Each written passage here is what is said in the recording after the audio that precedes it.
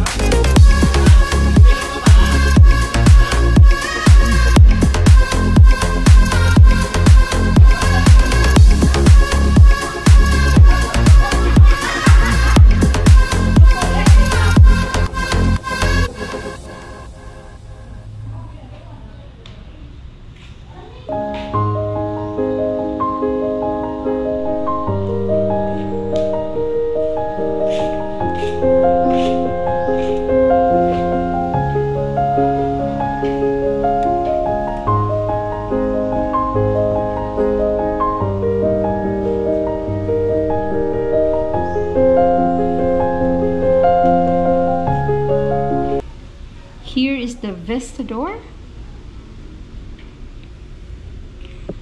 Vistador or Vest is a Hipólito of Hipólito Labra, a Katipunero during the anti-Spanish Revolution in Cebu. He was the longest-serving Cabeza de Barangay of Sabang Dako, Guadalupe from 1913 to 1967. 54 years old during the anti-Spanish Revolution in Cebu, the Katipuneros, led by Leon Kilat, believed that wearing the Vistador would make them invisible. So this is a vest with all the writings in it.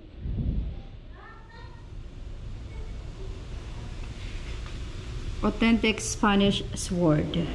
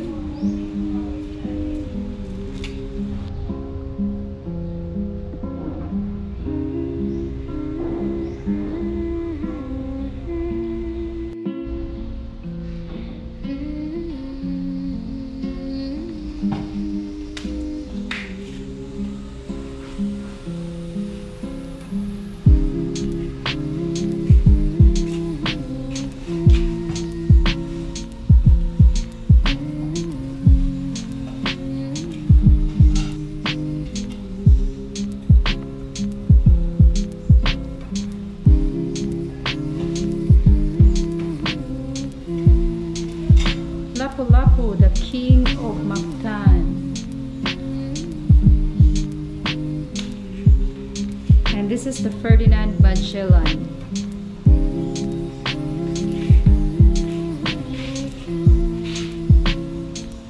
Is it the Raha Humabon?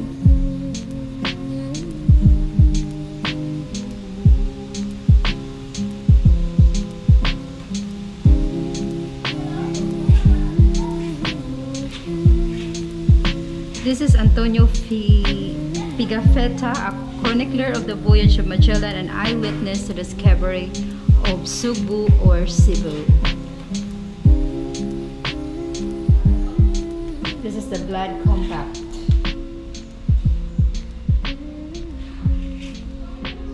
This is Enrique de, Val de Malacca, Magellan's interpreter, the first to circumnavigate the world.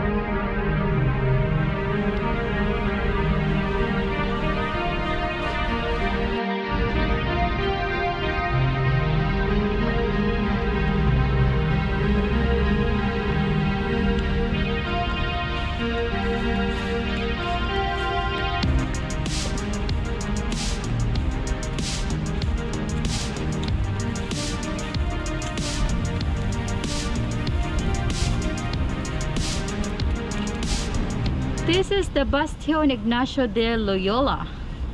Bastion San Ignacio is the Saint Ignatius of Loyola was a Spanish soldier who became a priest and theologian. Before his conversion, he fought in the wars and was known to be brave and noble soldier. He founded the religious order Society of Jesus, popularly, popularly known as Jesuits, who came to the Philippines as missionaries of the Roman Catholic faith in 1581. San Ignacio was canonized in 1622 and declared as the patron of shoulders, he is also the patron saint of the military ordinate of the Philippines until today. The bastion, which became the reclamation of the age at the land and the sea, was dedicated to him so he could be the patron and protector of the Spanish military personnel living inside the fort. So this one is the Bastion Ignacio del Loyola past Bastion. Char.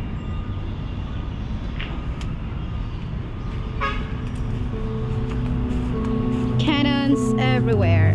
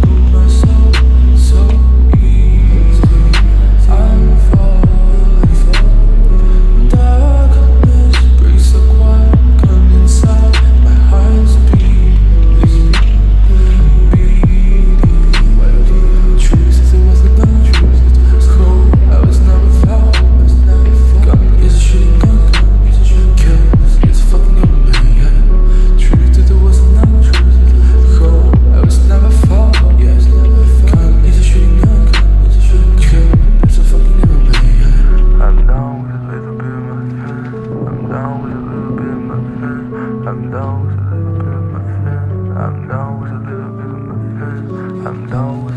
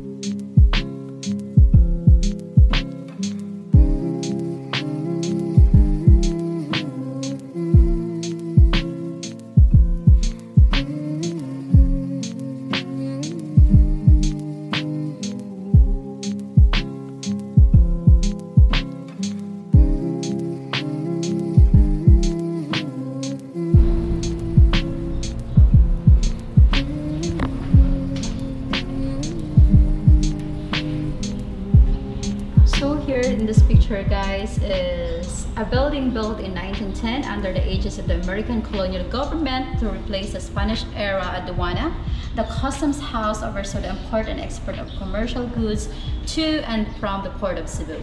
It now houses the Malacanang of Cebu.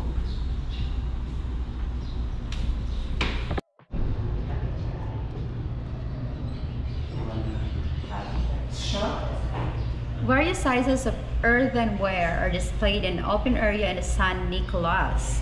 Since pre-colonial times, pottery has been an important export product for the trade-oriented islands of the Philippines, including Cebu, an important trading center in the Visayas. So, guys, this is really cool. This is going on in the past and now the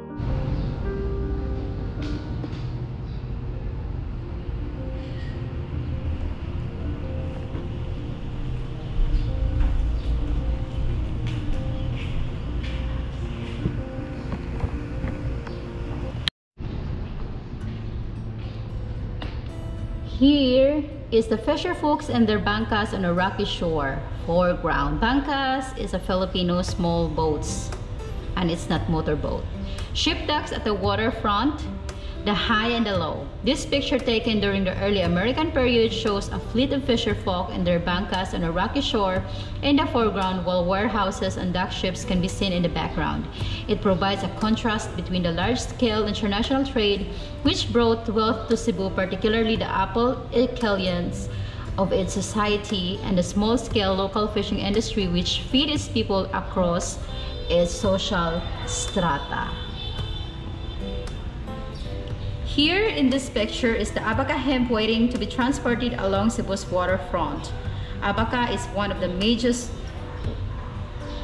major export product which is prim primarily used as raw material in the making of rope, an important item in, is, in an increasingly globalizing world connected by large ocean-going ships which relied heavily in this type of cordage.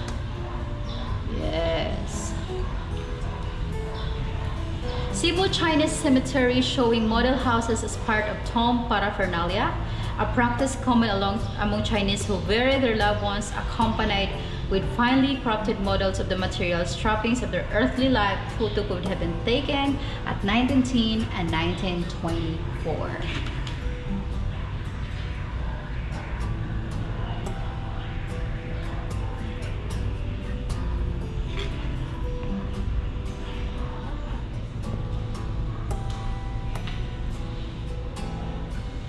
Alright guys, there's just some of those other photos here.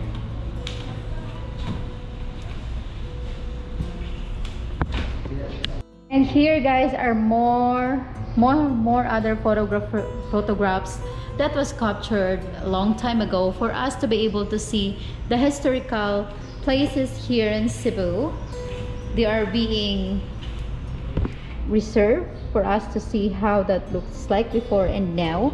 And this one here is the triangular park of Plaza Parian. This section of old Cebu used to be the residence of the Chinese. Not shown in the photo was the Parian Church, which had in its facade two bell towers. So this is the place of the Parian in Cebu.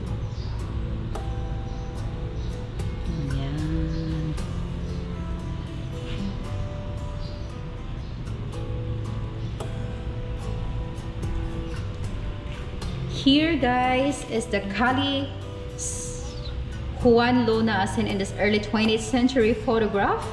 Stretch its way from the old Spanish district to Puente Osmeña and the new Capitol building. On the left side of the picture is the Matilda Bradford Church which can easily be identified through its steeple and just beyond is the Sneak Dormitory for Boys which was destroyed during the Second World War. The street was later renamed Jones Avenue and is presently called Osmeña Boulevard. Wow, it's very interesting. Here is one of the treasures during the Spanish colonial period or the pipe organs. Three are found in Cebu. One is in the Church of San Miguel in Argao, the Patrocinio de Maria Church in Boljoon, both from the 18th century. The third one used is found in Cebu Cathedral. It was supposedly brought by the Father Balcoa and was solely used for Archbishop masses. Only a steep knob remains when it was dismantled for cleaning in 1992. The latest and the biggest pipe organ was installed. It was made of 1,200 thin alloy and windpipes encased in Narra, Calente, and Tangili wood. It also boasts of the use of Al Almaciga wood from Brazil. It has two manual keyboards with 56 keys, each two steep knob and a blower. This picture here is the Diocese of Cebu was established in 1591 as the first suffragan of the Archdiocese of Manila. A building which would somehow be worthy of the name cathedral was deemed a necessity of for Cebu. Many attempts to build the cathedral were affected from lack of funds to the death of the supervising bishop. A, 15, a 1915 photo of the interior shows a pyramidal elevated roof over the crossing to accommodate a dome, a class and footnoting Cebuano Study Center of Assessors. The main nave was barrel vaulted. This present interior, which was a result of the remodeling after the war, it is not improving over one in 1915. Nice. So we have here the Holy Child of Santo Niño de Cebu. This child is the religious image given by the Ferdinand Magellan to the wife of Cebu chieftain Raha Humabon, who would be Christ Christian as Juana, Christ, President, in 1521 has become synonymous with Cebu and is one of the most well-known religious icons in the country of the Philippines. And, you know, we have Santo Niño de Cebu and people believe that um, he is the um, baby Jesus. This picture is the, the St. John's Day, San Juan Bautista Revealers. The feast day of St. John the Baptist on June 24 is traditionally observed by taking a dip at sea. This could explain the wet clothing of the people in the photograph.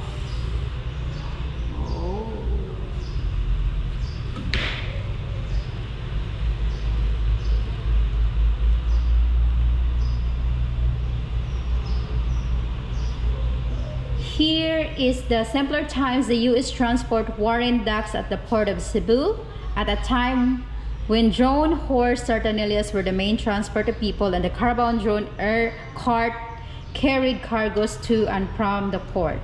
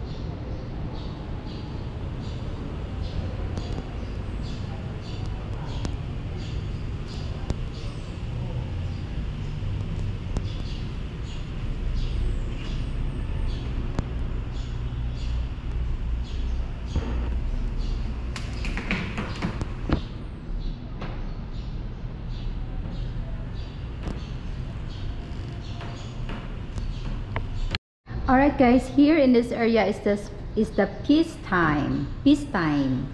So Peace Time is a collection of vintage Cebu City photos that will provide us deeper insights into nature of American colonialism and representation of Cebu through the medium of photography. So in 1899, the American painter, sculptor, and writer Frank D. Millet who actually died because of the sinking of the Titanic, thought that the glamour of Spanish ancient power still lingered in the archipelago and there still remained a picturesque life of the East. So he believed that the Philippines existed for the American readers merely on the periphery of experienced reality. He said that bringing the Philippines into the Kodak zone would extract it from the fog it wasn't making it real to real readers. So unfortunately, Kodak was filed for bankruptcy. But thanks to our partners for bringing these photos into the public zone. and making this exhibit real to our viewers. So in this area guys, it's being retained the most of the original captions of the photos to show the possibilities of distortion and manipulation of the photo's meaning. Just like selection of the subject, posing, and even cropping, captions are photographic tools that reinforce conquest and colonization because they context- contextualize and decontextualize the message. In a way, these photos were already constructed through the previous imaginings with the desired view and desired effect. We'll look back today with the same desire for Cebu. We are here checking these photos of our beloved Cebu City. So there are quite a lot of different paintings here. This painting is the Last Supper painting in the selling of Cathedral. This is one of many selling paintings, paintings characteristics of old Cebu church, churches. These paintings also serve to teach the parishioners pictorial catechism. Sure, this is the photography of Oiteng Shua photo collection credits to you.